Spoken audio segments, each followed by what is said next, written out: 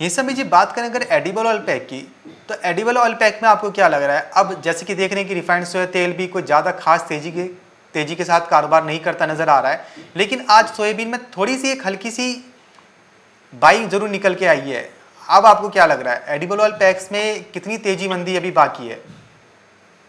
जी देखिए, मेरा मानना है कि रिफाइंड सोया ऑयल में एक शॉर्ट कवरिंग मूव ड्यू बनता है क्योंकि हमने 1240 से 45 की जोन में सपोर्ट लेते हुए देखा है। और साथ ही हम ये देख रहे हैं कि सोयाबीन में भी एक रिकवरी देखने मिली है। तो रिफाइंड सोयल मुझे लगता है कि जो रिकवरी है वो बारह तक एक्सटेंड हो सकती है।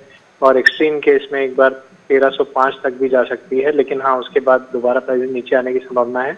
वहीं सोयाबीन में जैसे आपने बताया काफ़ी बढ़िया तेज़ी देखने मिली। पाँच हज़ार एक सौ के करीब जाकर प्राइजेस आज अच्छे खासे ऊपर की तरफ़ ट्रेड कर रही है। मुझे लगता है शॉर्ट कवरिंग मूव स्टार्ट हो गया है सोयाबीन में और अपसाइड में लगभग पाँच हज़ार छह सौ तक के स्तर हमें आने वाले एक हफ़्ते में देखने मिले जी